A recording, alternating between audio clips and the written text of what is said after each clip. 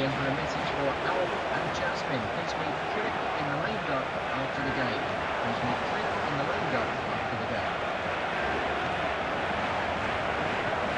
It's a terrible, brilliant opening.